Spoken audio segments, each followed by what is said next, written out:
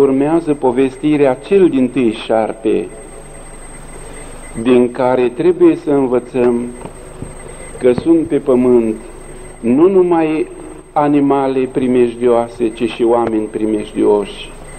Trebuie să învățăm să ne ferim de toate. Sunt animale primejdioase cum sunt și oameni primejdioși, dar primejdea nu stă decât în o travă pe care o poartă astfel de vietăți, în colții lor sau în inima lor. Dintre toate fiarele cele mai primejdioase, cel mai rău este șarpele, pentru că pe când toate celelalte vin pe față să muște, șarpele se ascunde ca să muște. Se ascunde sub flori, se ascunde sub frunze și astfel își înfige colții otrăviți în cei care nu știu să se ferească de locurile și de firea lui. Dintre toate fiarele cel mai primejdios am spus că este șarpele, iar dintre toți oamenii cel mai primejdios este pismuitorul viclean.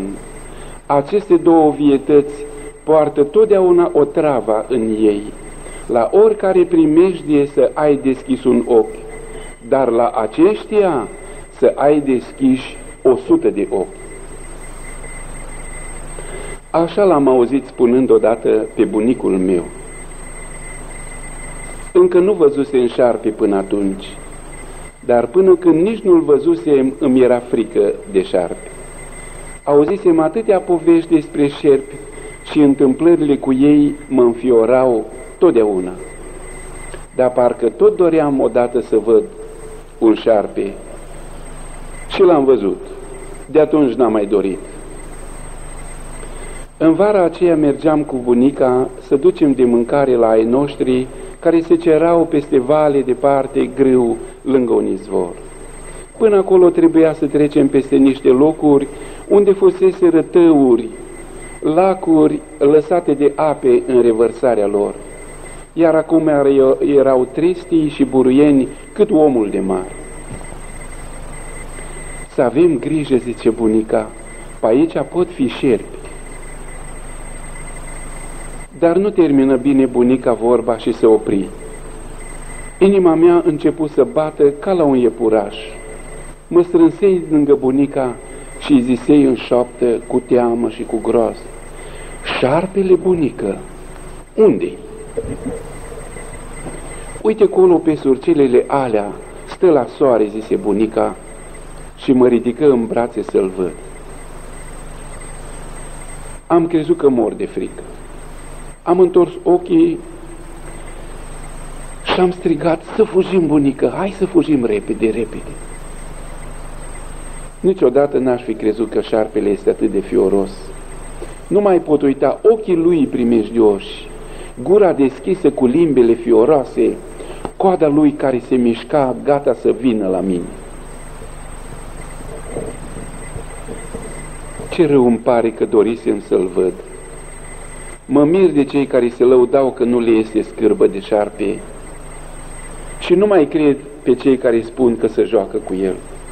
Cum să poate să te joci cu ceva atât de primejdios?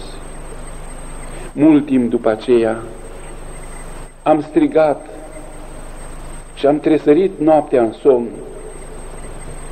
căci visam numai șerpi primejdioși. Dar atunci când am ajuns la moșul și i-am spus cu groază toate astea, tremuram încă și eram cu obrajii palizi de tot. Și bunicul mi-a mai zis, de omul rău și de pismaș, să știi că trebuie să te temi și să te ferești și mai tare ca de șarpe. Dar care este omul pismaș, moșule? îl întrebam eu.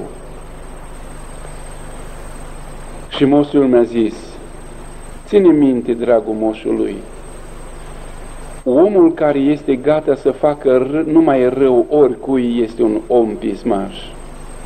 Un astfel de om nu iubește pe nimeni și nu-i pasă că face cuiva orice rău, numai dacă are el vreun folos cât de mic din asta.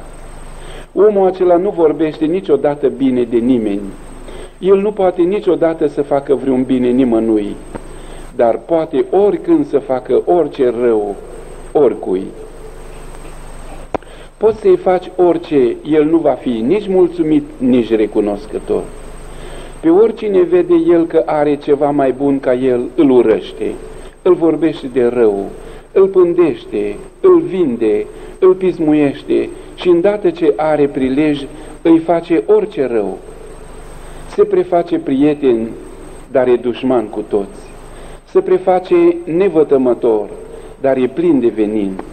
Se preface că nu vede pe nimeni, dar îi pândește pe toți oamenii. Și cum aș putea eu cunoaște pe omul acesta pismaș, moșule? Dragul meu, omul acesta are un semn. Cum ai cunoscut pe șarpe? După ochii lui. Ai văzut ochii șarpelui? Nu-i mai pot uita niciodată, moșule. Cam așa sunt ochii omului pismaș. El poate să-și ascundă gândurile, poate să-și prefacă vorbele, poate să-și schimbe pielea, dar ochii nu și poate nici ascunde, nici preface, nici schimba. De omul cu ochii vicleni și cu ochii care sticlesc ca niște săgeți, ferește-te totdeauna, aceștia sunt ochii unui om primejdios. Și să mai știi, dragul moșului, că șarpele închipuie și pe satana și păcatul. După cum te ferești de șarpe, așa să știi să te ferești de orice păcat. Căci după cum șarpele este otrăvitor, așa este și păcatul. Și după cum nu te poți juca cu un șarpe fără să fii totdeauna în primejdie, așa nu trebuie să te joci cu păcatul niciodată. Ai înțeles tu, dragul moșului, ce ți-am spus eu? Am să te mai întreb, să mai spui, moșule. Bine, dar acum nu prea am timp să tot povestim prea multe. Să nu uiți câte ți-am spus. De șarpe să fugi totdeauna, iar când iese în calea ta, să-l zdrobești. De orice păcat, fugi totdeauna, iar de omul pismaș și viclean, cu ochii care se feresc și parcă au sticlă în ei, de omul acesta să te ferești cât vei trăi. Învață să te alipești puternic de Domnul nostru Isus Hristos, care te poate și păzi și învăța toate acestea, când lângă tine nu va mai fi nimeni care să te iubească, să te poată învăța și să te poată păzi. Roagă-te Domnului cu credință și cu teamă, neîncetat, ca El să fie cu tine, să te păzească, să te învețe, cum să știi să te păzești și tu de orice primejdie, că nu totdeauna vor fi lângă tine prieteni și învățători și părinți și frați care să te îndemne și să-ți arate primejdia. Tu însuți trebuie să te deprinzi să o cunoști și să te ferești totdeauna cu ea. De ea, totdeauna, deci, fii gata să te rogi Domnului așa. Prea bunule Doamne Iisuse, eu am auzit și cred că Tu ai zdrobit capul șarpelui celui rău, care căuta să ne piardă sufletele noastre. Cred că prin crucea Ta pe Golgota, Tu, Doamne Iisuse, ai biruit pe cel rău și ai nimicit puterea păcatului. Dar în lumea aceasta mai sunt multe primejdii care pândesc sufletul și trupul meu din partea celui rău și a celor răi. Te rog pe tine, Doamne Iisuse, cel atotputernic, să mă păzești Tu de ispite, să mă păzești de păcate, de primejdii și de orice nenorociri care mi-ar putea veni din partea celor care nu pot iubi, nici nu pot face binele, ci numai răul.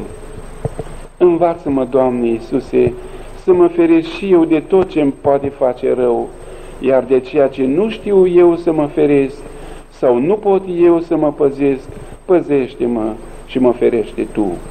Amin. Am învățat bine rugăciunea asta și de multe ori când am fost în stări primejdioase, am spus-o înaintea Domnului meu cu teamă și cu lacrimi. Și din multe necazuri m-a scăpat Domnul în urma acestei rugăciuni. Slăvit să fie Domnul!